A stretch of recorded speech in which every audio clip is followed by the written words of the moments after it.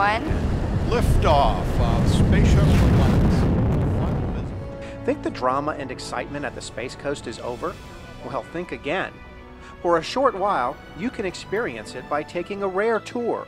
You'll be able to experience the real, behind the scenes venues where history was made. Getting people a chance to see uh, all of what happened in terms of the technology, the engineering, and the incredible amount of effort that thousands of people had to put into what it took to, uh, to get us into space. And I think it gives the general public a, a much better appreciation of the overall contribution that thousands of people made to the space program. Like the incredible team effort it took to get man into space from firing room number four.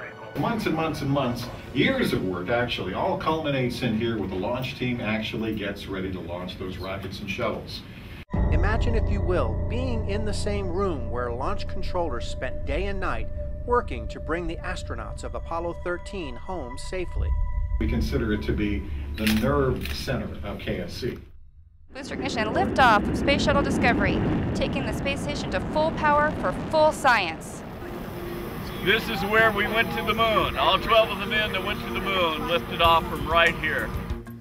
Pad 39A was the home to all the moon launches and most of the shuttle launches as well. Oh, I like it. I think it's great that we can come out and see this and get a little bit of history. Or step inside the cavernous Vehicle Assembly Building, or the VAB, and feel the enormity of America's accomplishments in space. This is the heart of the Kennedy Space Center. You can't describe it until you come inside and look at it. It's like the Grand Canyon. You could take a million pictures, and until you see the real thing, it doesn't do it justice. On display, you'll see mock ups of the next launch vehicle that will take man into space, the Orion.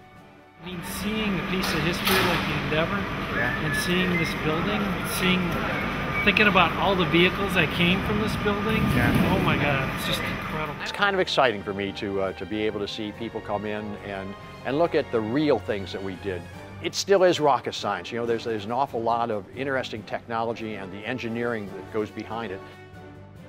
But hurry, these tours won't last forever. Man will fly in space again, and these very same facilities will again be thrust into action. For more information about the tours, visit kennedyspacecenter.com.